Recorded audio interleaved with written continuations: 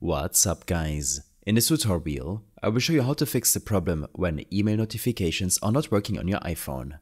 The first thing you want to check is if any focus modes are turned on. To verify this, swipe down from the top right corner of your iPhone to open the control center. Focus modes on iPhones are designed to help you stay concentrated by filtering notifications, but sometimes they might block your email alerts. Look for the focus modes icon, such as Do Not Disturb personal, work, and so on, to see if there are any enabled. These icons will appear highlighted if they are active. Make sure all focus modes are turned off. If there are any on, tap on the icon to turn it off. This will ensure that your email notifications aren't being suppressed either on the lock screen or your home screen. Next, let's verify the notification settings for the Mail app. Open the Settings app on your iPhone. Scroll down and tap on Notifications.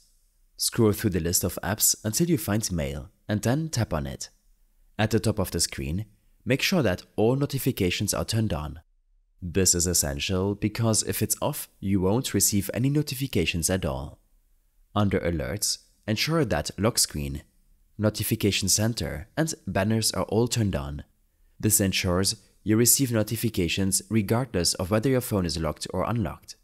You can also adjust the sounds and badges settings according to your preference. If you want a sound to accompany your notifications, make sure sounds is turned on. Badges will show a red number on the app icon, indicating how many unread emails you have. Additionally, under Banner Style, you can choose between temporary or persistent. Temporary banners disappear after a few seconds, while persistent banners stay on the screen until you dismiss them ensuring you don't miss any notifications. If you have multiple email accounts linked to your iPhone, you can customize notifications for each account separately. In the Mail notification settings, scroll down to Customize notifications. Tap on your specific email account such as Gmail or iCloud. Here, you can turn on or off notifications for that specific account, as well as enable badges and sounds. This is very useful if you only want notifications for certain email accounts. If all else fails, the issue might be with the email account itself. A simple yet effective fix is to delete the account and then reinstall it.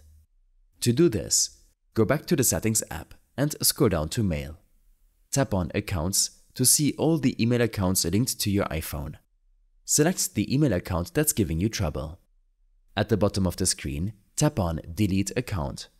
Don't worry, this won't delete all of your emails. They're still stored on your email server. After deleting the account, restart your iPhone to ensure that any residual settings are cleared. To restart, press the volume up button, then the volume down button, and then press and hold the power button until the slide to power off screen appears. Afterwards, press and hold the power button until the Apple logo flashes back on and the iPhone is restarted.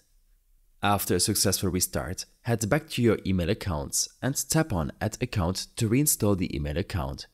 Follow the on-screen instructions to log back into your account. Reinstalling the account often resets any corrupted settings or bugs that might be causing notification issues, ensuring that your email notifications start working correctly again. I hope this helped you out Leave a comment if you have any questions and see you in the next one.